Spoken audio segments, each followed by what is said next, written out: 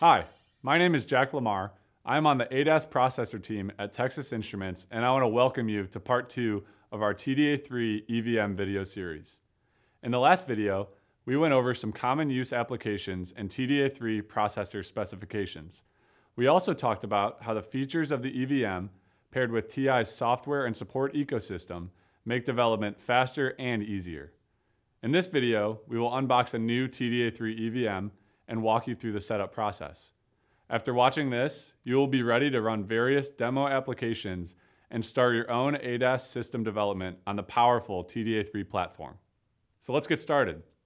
TI and Spectrum Digital have worked together to bring you this EVM along with various peripheral attachments. In this video, we will focus on the TDA3 EVM board and its necessary setup components. Let's take a look inside the box. Upon opening, you will find the TDA3 EVM board, DC power supply adapter, JTAG adapter, Aptina imager adapter, 2 gigabyte micro SD card. And please note that the 12 volt board power supply and USB cable are not included in the box, but will be required to run demos. With these contents, we are ready to set up the EVM in preparation for running various TDA3 based ADAS demos. This portion of the video will walk you through the setup steps in the Vision SDK TDA3XX user guide, which can be found in the directory shown on the screen. Once Vision SDK is downloaded and installed, we're ready to start building the application. The first step in this process is to navigate to the Processor SDK Vision folder and go Vision SDK, Build, and in here you'll see rules.make file. Open that file in your favorite text editor and on line 49 you'll see make config equals TDA and this might not be 3xx just make sure that this is 3xx for the purposes of this setup. Now we need to set the XDC path to environmental variables.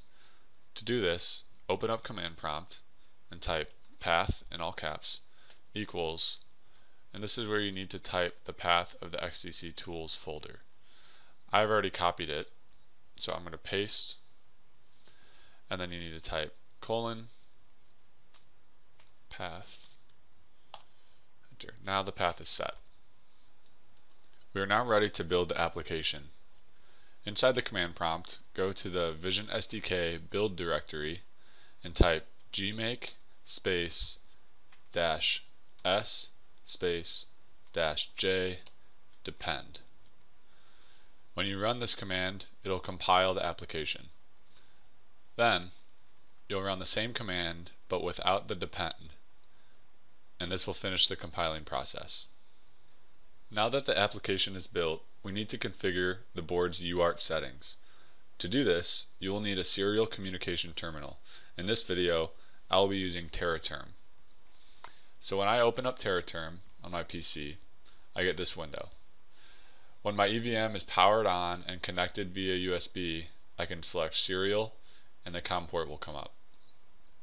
Press OK, and then navigate to Setup, Serial Port, and here we need to change the baud rate to 115,200. That's the only setting that I need to change here. So everything should be matching this and press OK and we're ready to do UART communication. Now we are ready to load the application. There are a few different methods of loading the application. In this video we're going to use the QSPI and SD card load method since it's the most common. The next step in the setup process is to generate the QSPI writer tools and app image. This involves two simple commands. The first one is gmake space s space SBL and this will generate your flash writer and your SBL images. The locations of those can be found in the user guide shown on the screen. Then we need to generate the app image. This also is a simple command of gmake space dash s space app image and this will run through a prompt and then at the end it'll say app image is at and it'll give you your directory where to find your app image. Now we need to flash the QSPI writer tools to the EVM memory.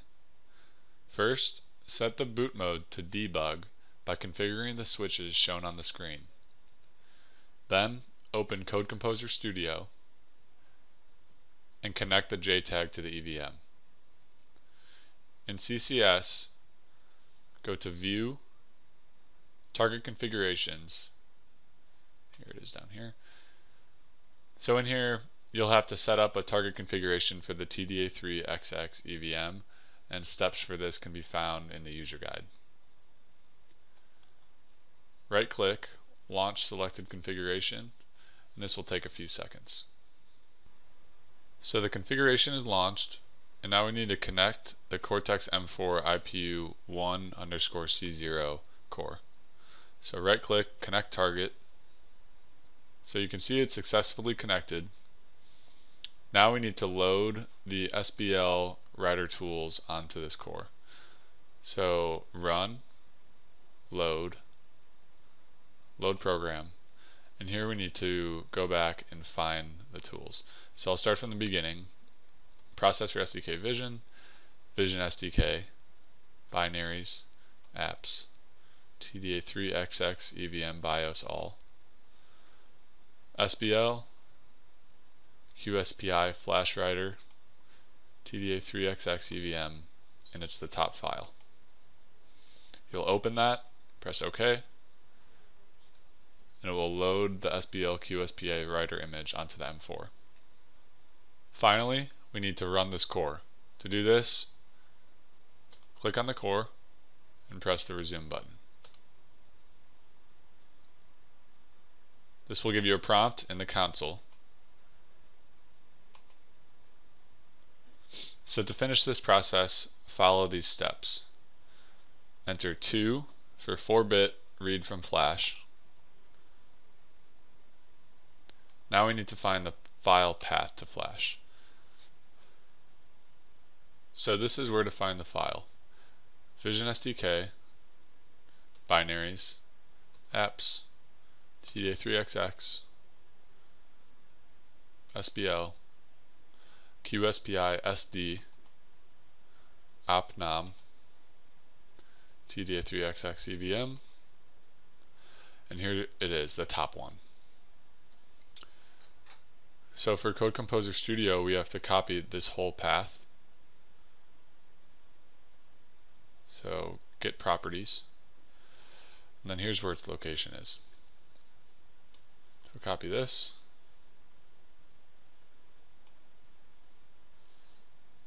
into Code Composer Studio, into the console. And to complete this path, we need to enter the file name. Finally, press enter. Offset in bytes in hex is 0x00. Erase options, enter 1. And load options, enter 0. This will complete the process of flashing the QSPI writer tools to the EVM. We are finally ready to load the app image onto the EVM and run demos. To do this, first copy the app image into the SD card on your PC. After you do that, eject the SD card and open your serial communication program. Again, I'm using Teraterm. In Teraterm, make sure the serial port is set up correctly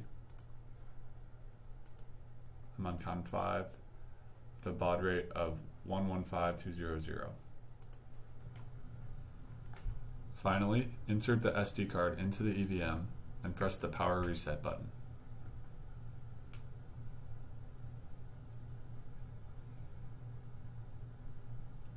This will run through a prompt, and finally, it will give you the Vision SDK use cases.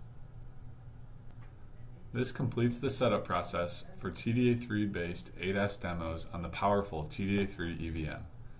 Please refer to the user guide for further details. On behalf of Texas Instruments, I want to thank you for tuning in. We can't wait to see how you use our TDA3 processors to create innovative technologies that enable safer driving for years to come. Thanks for watching.